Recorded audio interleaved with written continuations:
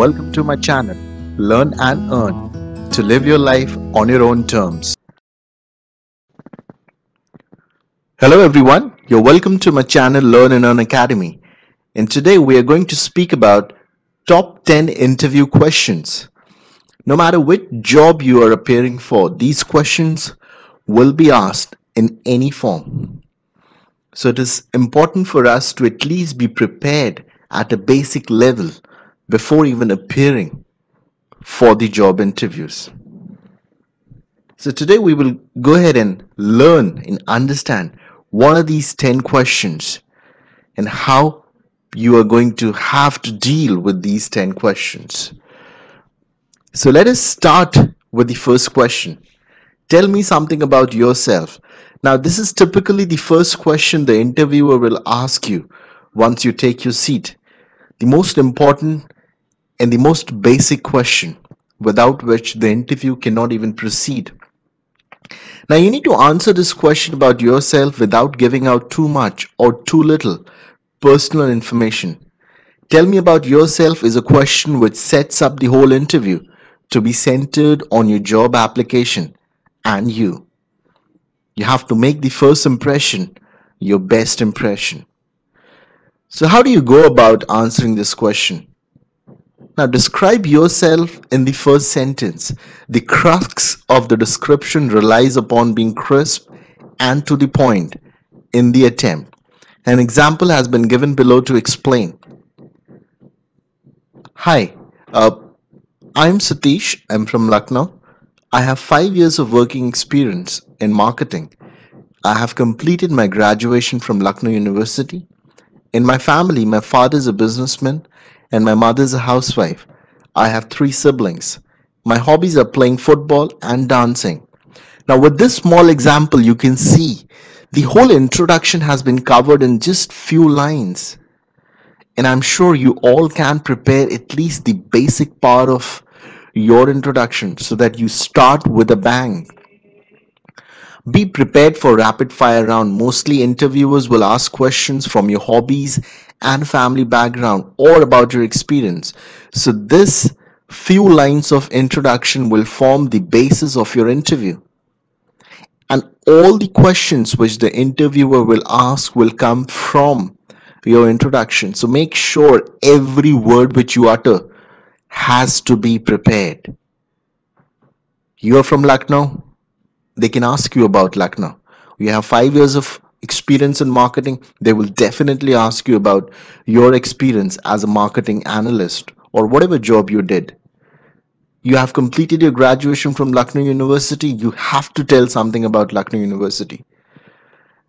If you have spoken about your family background, they might ask you, What are your three siblings doing? And the most asked questions will be from your hobbies. So ensure that whatever hobbies you are uttering, you have to be very punctual on that. My hobbies are playing football and dancing. So who was your favorite football team this this World Cup? In what form of dance you practice? Do you get time to to dance? Now these are the questions that can be formed just from your own introduction. So now you can imagine and lay emphasis and importance on how important introduction about yourself is. Now, the second question is strength. Now, here you need to think about your most relevant strengths that you can apply to this particular job.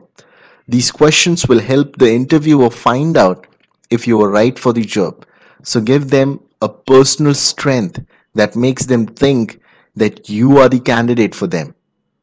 Now, some of these strengths which you can definitely speak about which is common for everyone and we can also relatively explain it by giving some personal examples. Enthusiasm, trustworthiness, creativity, discipline, patience, respectfulness, determination, dedication. Now you can combine all these strengths or few of these strengths and speak and answer about this a question. I am a very enthusiastic person. I'm trustworthy and creative. I need I want to bring out new things in whatever work I do. I believe discipline will teach patience And once you have patience, you will definitely achieve respectfulness for others. Your determination and dedication will lead you to a better career progress. Now, these are kind of answers which you need to practice. Some of these strengths which you need to know and imbibe with your personal examples. Now, these are the answers which will give you that job. What are your weaknesses? Now, interviewers have heard that I'm perfectionist. Many a times, something fresh and original could do this trick. Now, these are two possible ways you can go about this. One is you can answer that in a funny way, uh, where you have built up a good rapport with your interviewer and you your weakness could be chocolate. So another route is that you could take would be to pick a weakness that isn't or that won't affect you if you were to get a job. Now you have to mask your strength as weakness. Now this is a very tricky question. They want to know what kind of weakness you have. Now your weakness should not and never has to impact the kind of work which you're doing to going to do in the organization. So you can definitely come up with something which is your weakness, but it is not going to impact the job which you're going to do in the company. For example, I like to trust people and I often trust them quite easily, which uh, sometimes I get betrayed as well. So, this is something which is natural. Many people trust people. So, this is something which you will definitely learn uh, in experience. So, this is something which you can speak as a weakness. Now, chocolate is my weakness. Whenever I see chocolate, I desperately fall for it. Now, this is a, a very uh, easy answer which you can definitely try. But if the interview is more on a serious note, you can surely pick up a strength which can be portrayed as a weakness, but it will not directly impact the kind of job which you're going to do. Point number four, why should we hire you? Now, this is the question that is the most critical question. Now, the interviewer is asking you to be in his position and judge you based on your skills, knowledge, and experience to hire you. Now, the key thing is to remember is to be specific. Show you know something significant, the details about the company and their general practices because you have researched the firm and are prepared. Tell a success story that highlights how you have the qualities needed to fill the specific needs. Don't be too modest. This is your chance to shine. Make it count. On the flip side, you do not go overboard and sound too arrogant. Now, since this is a very tricky question, you can play very safe. Now, before you appear for any interview, you have to search about the company. You need to learn the basics of the company in which you are appearing for as an interview you need to know the management the kind of work which the company does what are the various products what are the various profiles which the company hires for now these are the things which will definitely let the interviewer know that you have researched about the company and you are serious about the job. Now one thing which you can do is you can relate if you have a work experience prior or even if you have worked in a college a success story to what the company does. Let's suppose the company is into advertising.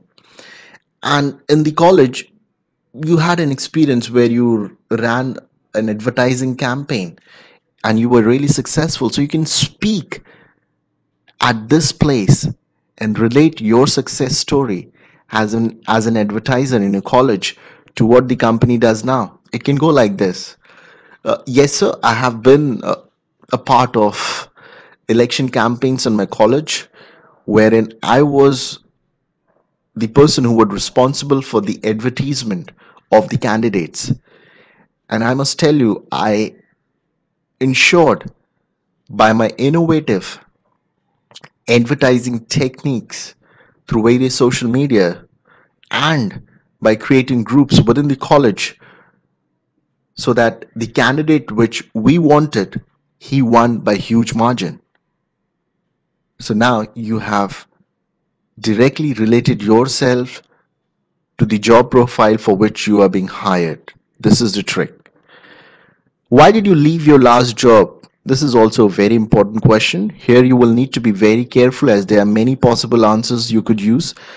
Just remember to never talk negatively about any prior or current employer to a potential employer. Do not speak negative about your past employer or your boss. If you left voluntary, be sure to explain why. For example, you wanted a different challenge, you wanted a better salary, you wanted better growth opportunities, you wanted to move on. Hint, a challenge offered by a company and a position you're interviewing for. So let's suppose the company and the profile which you're appearing for interview now is more challenging. You can use that as an answer. Don't bash your last company or boss or anything along those lines. Words like downsizing and budget cuts and bad economy are good defenses if they are true and they are reasons for departure from the job. So if your reason for the job is downsizing because of the bad market or the poor economic conditions, you can definitely speak about it and that will not be a negative thing. Where do you see yourself five years from now? This is the most common question which you will have to answer. Now, the idea, the ideology, and the reason why the interviewer wants you to answer this question is because he wants to see how you as a person think about the future and the growth of the organization. So the question is personal, but he wants to see how big you can think. So reassure your employer that you are looking to make a long-term commitment to the company.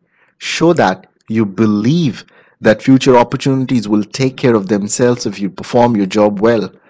Ambition is never a bad thing. It shows you a highly motivated self-starter. It is always good to say that you hope to see yourself with more responsibilities in a company that values your skill and your input. So you can give a very positive answer to this question. Yes, sir, I see myself in this organization at a better place, certainly at a higher level. I'll perform all the responsibilities and duties which I'm given to and will give my 100% efforts to achieving those. I'm sure the organization will certainly have a place for my efforts and will recognize the same. This is a perfect answer. How much salary you're expecting? Now, you don't have to be uh, shy about it, but you cannot be very blunt about it. You need to play a very conservative uh, role here. You won't be getting home with millions each month. You understand the profile which you're applying for. You know what is the basic salary criteria. So, if you are a fresher, you can leave the salary component to the HR. However, you can definitely speak about all the good things and the experience you have gained over a period of time and obviously uh, most of the things if you are if you have already worked your uh, last drawn salary will be taken into consideration. So this is a question which you can definitely uh, answer at a conservative level. Or you can leave up to the hr to decide the same. Now how do you handle stress and pressure?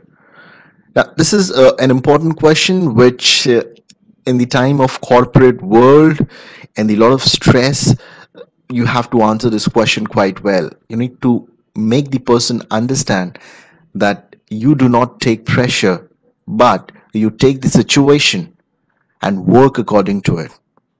So if a lot of works comes to you, it is not a pressure for you. It is a challenge and an opportunity for you to perform more and better and give yourself as the best version of yourself.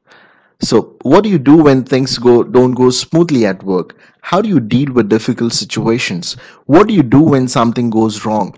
The best way to respond to this question is to give an example of how you have successfully handled stress in a previous job.